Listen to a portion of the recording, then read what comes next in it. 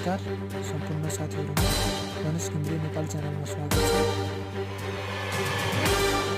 भोलिदेखि फेब्रुअरी पाँच तारिकदेखि आइसिसी लिग टु गेम हुँदैछ। नेपाल भर्सेस ओमान छ सम्पूर्ण साथीहरूलाई अनुशासित भयो गेम हेर्न अनुरोध गर्दछु। किनभने स सबै दर्शकहरूको निम्ति सिसी क्यामेरा र टिकट ई सेवाबाट लिनु होला।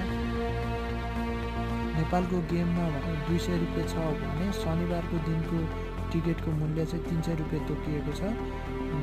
र अन्य देशको गेमहरू ओमन युएसएको दिनमा चाहिँ सय रुपियाँ मात्र तोकिएको छ।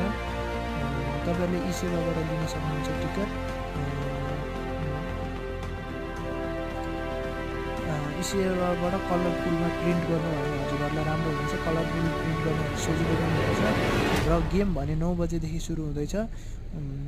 साथीहरू सम्पूर्ण नौ बजे ट्युमा आइसक्नु होला फेरि हजुरहरू ढिलो भने एकदमै क्यु हुन्छ। त्यस कारणले गर्दा लेट हुनसक्छ जुन ई सेवाबाट दिएको पेपरलाई स्क्यान गर्नुपर्ने त्यस लगत्तै बेला छिर्न पाइनेछ।